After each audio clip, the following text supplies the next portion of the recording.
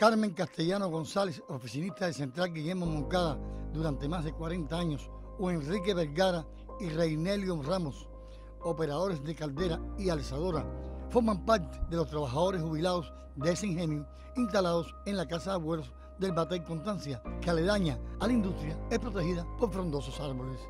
Este entorno, junto a la primera locomotora de vapor del ingenio y el molino original que tuvo el antiguo Constancia después de la revolución, aportan al lugar un especial atractivo.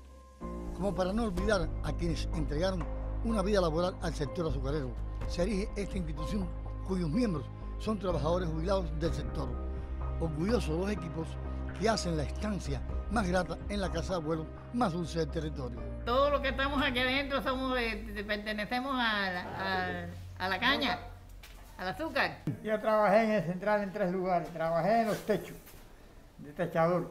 Trabajé de operador de caldera y trabajé de auxiliar de jefe de tráfico. Yo estoy encantado de la vida aquí. Que entre tantos objetos museables estén hombres y mujeres que durante tantos años contribuyeron con su amor y entrega a la primera industria de la nación es una muestra de reconocimiento del aporte hecho al país por la clase obrera que ellos representan. Primitivo González, Notisur.